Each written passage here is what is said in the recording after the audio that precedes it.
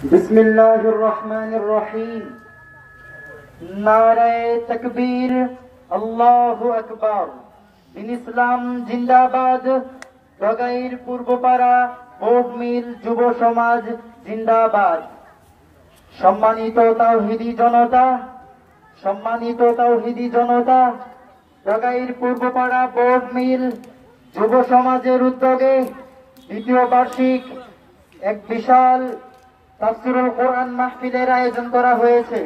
উক্ত তাফসিরুল কোরআন মাহফিলে সভাপতিত্ব করিবেন জনাব মোহাম্মদ আবু আল হোসেন খান, সভাপতি, নিউ সিটি উন্নয়ন কমিটি।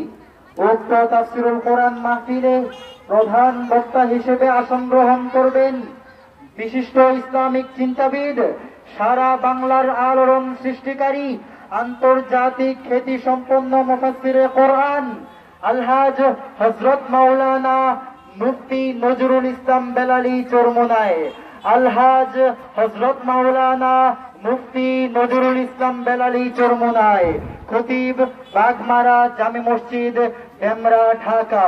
উক্ত তাফসিরুল কোরআন মাহফিলে, উক্ত তাফসিরুল কোরআন মাহফিলে বিশেষ মেহমান হিসেবে থাকবেন বিশিষ্ট ইসলামিক চিন্তাবিদ সুমধুর কণ্ঠস্বর হজরত মাওলানা মুক্তি রাজাউল করিম মাহমুদি। হজরত মাওলানা মুক্তি রাজাউল করিম মাহমুদি। খতিব তাইতুল জান্নাত কেন্দ্রীয় জামি মসজিদ, মদনপুর, বন্দর, নারায়ণগঞ্জ। উক্ত আরও পেশ করবেন।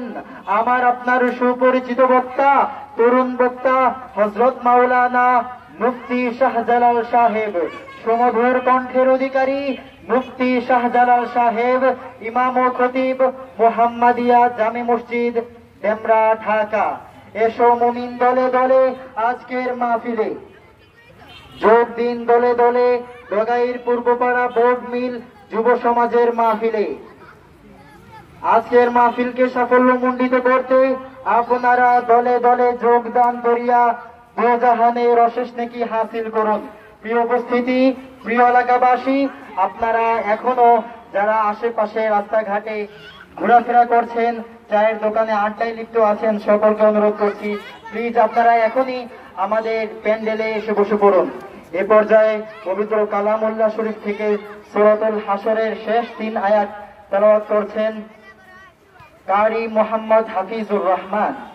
এ পর্যায়ে সুরতুল হাসরের শেষ তিন আয়াত তেলাওয়াত করছেন মোহাম্মদ হাফিজুর রহমান। কারি মোহাম্মদ হাফিজুর রহমান।